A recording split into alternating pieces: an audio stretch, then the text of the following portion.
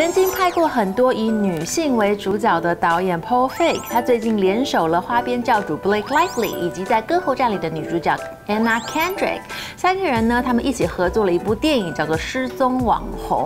那这部电影呢，这个在北美首映的这个票房红盘非常的厉害，在北美首周的票房已经破了五亿台币，在台湾的首周票房呢也直逼千万，所以呢，这两个人合体真的是非常的厉害。现在就让我们看一下这一对腹黑的闺蜜在里面有什么精彩的对手戏。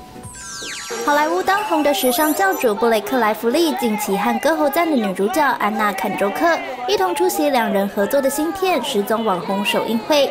此时，莱恩·雷诺斯也现身会场为爱妻站台。《失踪网红》剧情描述安娜·坎卓克饰演的人气布洛克史蒂芬妮和儿子好友的妈妈，也就是由布雷克·莱弗利饰演的狂野贵妇艾米丽成为好友。有一天，艾米丽突然失踪，史蒂芬妮四处寻找好友的下落，却爆出惊人的秘密。Every time we do this, I feel so high tone. Want to trade confessions? No, no. Come on. What's the wildest thing you've ever done? Stephanie, I need your help. Uh, are you okay? I'm fine, but I, I do need just a, a simple favor. Can you come over? Yeah. 剧中由布雷克·莱弗利饰演的狂野贵妇是一名时尚公关。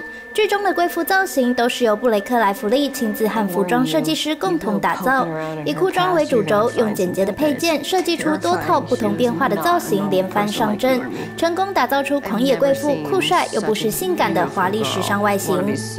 除此之外，布雷克·莱弗利在剧中常一针见血地道出许多职场金句，也引发许多粉丝们的共鸣，意外成为另一个看点。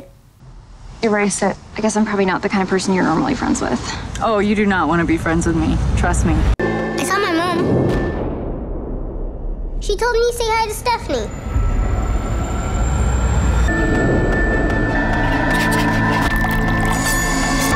Were you aware that he took out an extra $4 million life insurance policy on Emily before she disappeared? People do terrible things for their own reasons. He thought you knew more than you were letting on.